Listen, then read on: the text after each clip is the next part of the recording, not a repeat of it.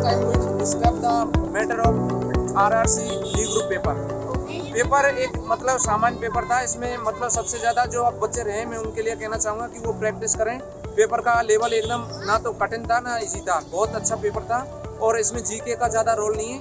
GK इसमें सबसे ज़्यादा reasoning plays a vital role in the exam इसमें मतलब क्या है अल्फ़ाबेट कोडिंग डिकोडिंग और केमिस्ट्री टेंथ लेवल तक का जनरल मतलब साइंस देखा जाए। और मैथ भी इतना खासा नहीं आ रहा है। एक दो, एक क्वेश्चन ट्रिगोनोमेट्री का आया था। कोऑर्डिनेट जियोमेट्री बिल्कुल भी नहीं आई है। और मतलब औसत औसत से संबंधित आए थे एक दो क्वेश्चन। और आयु संबंधी एक दो क्वेश्चन देखने को मिले थे। और आवर्त सारणी के पीरियोडिक टेबल से दो तीन क्वेश्चन मिले थे। एप ब्लॉक से अब एक साथ सारे क्वेश्चनों को मैं इस तरह नहीं बता सकता बाकी पेपर एकदम मॉडरेट ठीक है। मैं तो आया हूँ राजस्थान से और मैं यहाँ रेलवे का पेपर देने आया हूँ। और बहुत ही अच्छा पेपर गया है बहुत ही अच्छी चीज़ें होती है। परीक्षा के साथ पेपर दिया जा रहा है और कोई भी टेक्निकल इशू नहीं है ठीक है। आपका पेपर कैसा था? डिफ़िकल्ट था इजी था? डिफ़िकल्ट भी नहीं है इतना पढ़ने वालों के अच्छा। और कौन से सेक्शन ज़्यादा मतलब एलोबरेटिव था टाइम टेकिंग था? मैथ्स एंड रीजनिंग आपने और कोई एग्ज़ाम दिया है? अच्छा वेरी वाह। कंग्रेचुलेशन एंड आपको इस पे इस पेपर से आपको क्या उम्मीद है? मतलब कैसी कट ऑफ़ जाएगी एंड आप क्लियर करेंगे तो कितना मार्क्स एक्सपेक्ट कर रहे हैं? सेवेंटी परसेंट आप एक्सपेक्ट कर रहे है।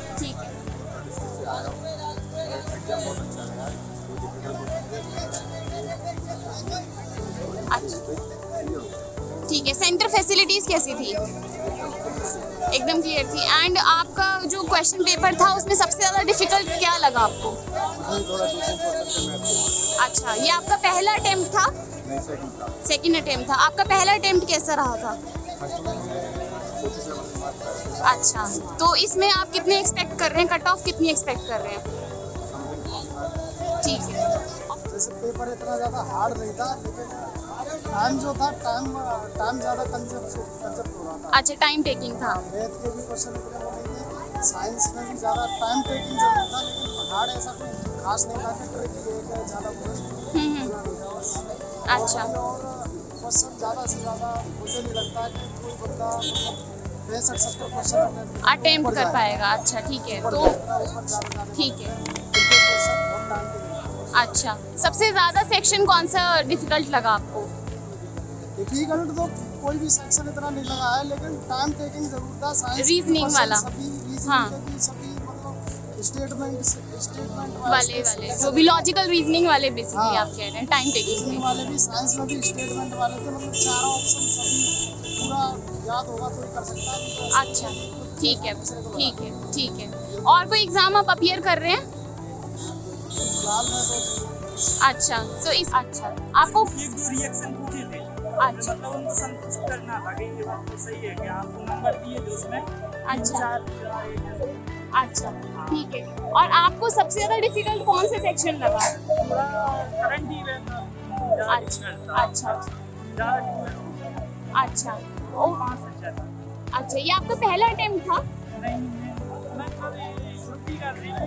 तो ही मैंने अच्छा।